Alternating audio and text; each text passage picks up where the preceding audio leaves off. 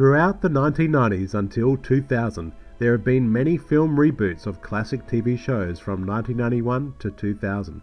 However, the ones that did work were usually very loosely based on the original shows. Lost in Space was one of those shows that was ready to be rebooted as a feature film, and it had to impress and satisfy a loyal fan base and relate to a modern audience. The film had a lot to live up to. What seemed to be a good idea at the time would turn out to be a massive failure. The original series Lost in Space ran for three seasons from 1965 to 1968. The premise revolved around the Robinson family, who are on a space mission to Alpha Centauri. Their ship, after takeoff, is set off course after the ship is sabotaged by evil Dr. Smith, who becomes a stowaway. The Robinson family become lost in space, and the series follows their adventures through space and their survival on strange alien planets. The film version of the show follows pretty much the same premise, except that the Robinson family are on a mission to find a habitable planet to colonize because Earth has nearly exhausted all its resources and needs another planet for future generations to survive and thrive on. The original series was originally set in the future of 1997, but the film takes place in the future of 2058. New Line Cinema would produce the film to compete with the other batch of science fiction films. The aim of the studio was to keep the original spirit, fun, and adventure of the show, but without the campiness of the original show. They also wanted a grittier, more darker version of the show. The studio also wanted to include appearances and cameos from the original Lost in Space cast to keep the loyal fan base of the show happy while also appealing to a newer and younger audience that wasn't familiar with the original series. Director Stephen Hopkins was hired to direct the film. He directed films like Predator 2 and The Ghost in the Darkness. He seemed to be the right choice for the job, except he was not familiar with the original Lost in Space TV series, so he had to familiarize himself with the show before making the feature film. Screenwriter Akiva Goldsman was hired to write the script. The film rights landed on the desk of New Line Executive Vice President of Production, Richard Saperman. Goldsman said, Saperman was only interested in purchasing the film rights if he'd write it. Goldsman, noticing the series veered into pure camp in its second season, wanted to write a more serious, gritty version, or how he put it, a 90s spin. According to screenwriter Goldsman, if the film received a sequel, it would have been about the Robinson family making it to Alpha Prime, but they would discover that Alpha Prime is already populated with humans because they went through a wormhole in the first movie that sends them into the future. This sadly would never happen due to the film's failure. In casting the film, they were looking for the right actors. They went with an unlikely choice for Professor John Robinson, Actor William Hurt. Mimi Rogers was cast as the mother, Maureen. For the Robinson kids, they first would cast Boogie Nights star Heather Graham as Judy. Lacey Chabert from Party of Five was cast as the rebellious teenage daughter, Penny. At the time of filming, she was in between seasons of Party of Five.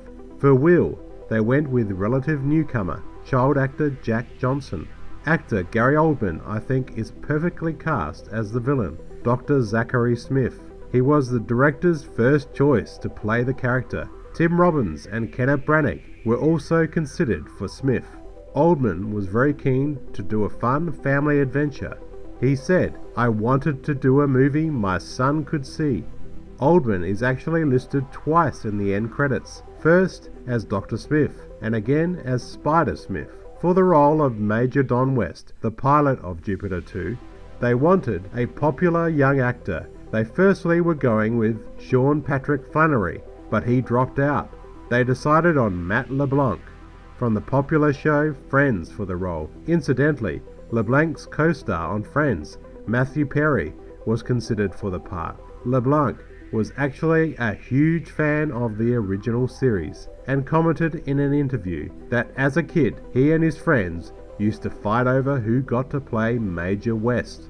Edward Fox made a small appearance as Dr. Smith's mysterious sedition contact All of the principal actors were originally contracted for three movies, but because of the film's failure, plans for a new franchise were dropped. Dick Tufeld, the original voice of the robot, returned as the voice of the new robot. Some original actors would make an appearance and cameo, including June Lockhart, who would play Will's school principal, appearing in hologram form. Mark Goddard, the original Major Don West, would now play Major West's commanding officer in the film. Angela Cartwright, originally Penny, and Marta Kristen, originally Judy, would make very small cameos as news reporters. Originally, Jonathan Harris, the original Dr. Smith, was offered a small cameo, but rejected the offer to cameo as a global sedition representative in the film. He announced that if he could not play his own role in the movie, he would not do it. He would go on to say, Either I play Dr. Smith or I do not play. Billy Mumy was offered a very small cameo, but he wanted to play the part of the future Will Robinson. Director Stephen Hopkins thought that it might confuse the audience. After Mumy was turned down to play future Will, he rejected the cameo role. I think Mumy would have been perfect as a future Will. Instead, they got Jared Harris to play Will of the future. Incidentally, the dialogue from actor Jared Harris was entirely dubbed, as the actor did not have the vocal range to complete the role. AMG FX were mainly responsible for special effects on the film. The film held a record of featuring over 766 effects shots, which would make up 90% of the film. At the time, this was New Line's most expensive film. In the film, they were originally going to have a fully animatronic space monkey. In the original series, they used a chimpanzee fitted with a prosthetic head and ears, which looks laughable today. The CGI monkey Blarp in the film is no better. It was one of the first fully realized CGI characters on film after Jar Jar Binks from Star Wars The Phantom Menace. The Jim Henson Creature Shop did the effects for the monkey. The effects for Blarp look absurd and ridiculous, and the monkey looks more like a very raw looking test render, which should have been left out of the film. I don't know what they were thinking. The rest of the effects in the film are very well done, except for the computer generated spider like creatures, which look very fake. The robot in the film weighed 2 tons and needed 8 people to control it. The outer shell for the Jupiter 2 craft during the launch sequence bears a strong resemblance to the Jupiter 2 craft from the original series. The film was shot in London's Shepperton Studios and occupied 12 separate sound stages. Over 3,500 names were listed in the end credits, making Lost in Space the biggest production of its time. The set design in Lost in Space is very impressive, especially the interior of the Jupiter 2, which is suitably futuristic looking.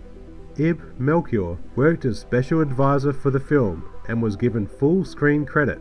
He originally was the creator of the original Space Family Robinson, Melchior's input was an integral part to the creation of Lost in Space. Instead, all credit went to Irwin Allen for creating the show. All these details were exposed in the Ed Shifres Space Family Robinson, The True Story in 1966. The book was very controversial and Melchior received a monetary settlement of full recognition as the creator of Lost in Space. Composer Bruce Broughton creates a wonderful score, and the score makes absolutely no reference to the original John Williams TV theme, except in the techno track during the end credits. On its release, Lost in Space made 20 million in the first weekend and made its debut at number one at the box office, which temporarily ended Titanic's 15 week long hold in first place. For a short time, Lost in Space was given the nickname the iceberg that sunk the Titanic. How wrong they were when Titanic became the biggest moneymaker, becoming one of the highest grossing films of all time. Lost in Space had a worldwide gross of over 136 million, but unfortunately, the film was classed as a failure at the box office. Reviews were mainly negative. Roger Ebert gave the film a rating of one and a half out of four, calling it a dim-witted shoot 'em up. One critic called the film the dumbest and least imaginative adaptation of a television series. The film, to someone like me, who truly loves the classic Lost in Space, was a major disappointment. The film lacked those sentimental family moments of the series, which really was the glue that held the original show together. The actors in the film come off as very dull and wooden, with the exception of Gary Oldman, who is great as the villain, Dr. Smith, and doesn't go too over the top in his performance. The performances of the actors you could blame on the script. Lost in Space is a clear example on how not to do a film reboot of an old series. It sadly fails to grab the viewer from start to finish. The latest Netflix version of Lost in Space is a step in a better direction. It's more reality based and believable. But still, for me, the original Lost in Space will always be the best. My name's Jonathan, thanks for watching, and please subscribe if you haven't already.